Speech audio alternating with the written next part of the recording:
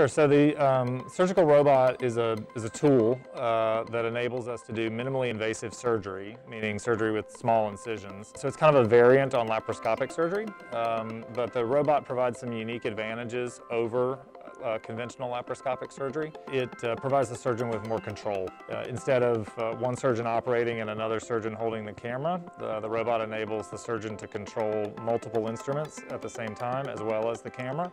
And probably the most important advantage of robotic surgery is that the instruments have wristed movements. In conventional laparoscopy, instruments go in and out, up and down, side to side.